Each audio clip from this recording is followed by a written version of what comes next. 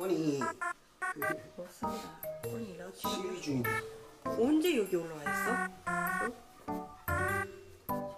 아이고.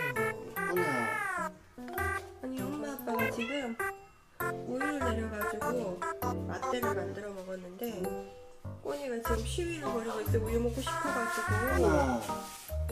아빠가 우리 꼬니를 위한 바리스타가 되어줄게. 아빠 바리스타야. 우리 집에서만. 응? 거품 보이나? 거품. 꼬니 기다려. 다셔 자, 우리 꼬니를 위한 개푸치노 나갑니다.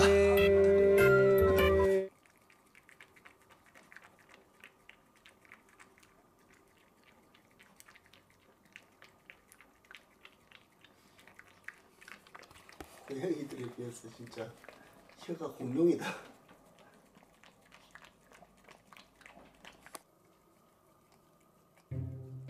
우유 한 살을 마셨어 휴.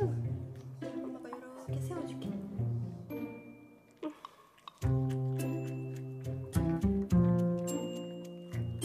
다 먹었다 또 만들어줄겠구나